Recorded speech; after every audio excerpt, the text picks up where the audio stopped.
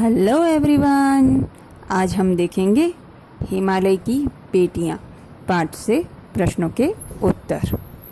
अति लघुत्तरीय प्रश्न उत्तर। प्रश्न एक, लेखक ने हिमालय की बेटियाँ किसे कहा है और क्यों?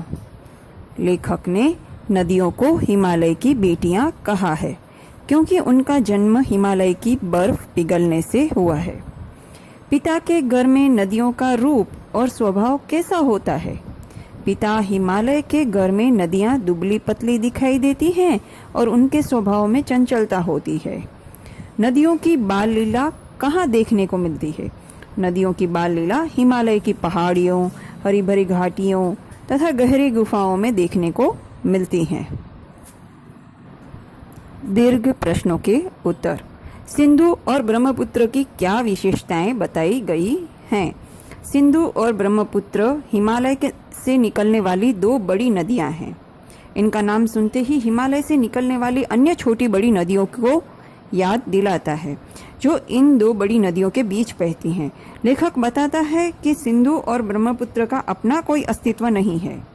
ये तो बस दयालु हिमालय के पिघले हुए दिल की बूंदे हैं। कहने का अर्थ यह है कि हिमालय पर जमी बर्फ़ पिघलकर नदियों का रूप ले लेती है और ये महानद बनकर समुद्र तक पहुँच जाती है। काका कालेलकर ने नदियों को लोक माता क्यों कहा है? नदियाँ माता स्वरूपिणी हैं। मानव सभ्यता के विकास में इनका महत्वपूर्ण योगदान रहा है। मानव जीवन के लिए ये आवश्यक हैं। ये जीवन दायिनी है। नदियों के किनारे ही मानव ने अपनी पहली बस्ती बसाई और खेती करना शुरू किया।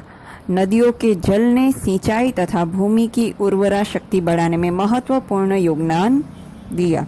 आधुनिक युग में पन बिजली परियोजना नदियों पर ही निर्भर है।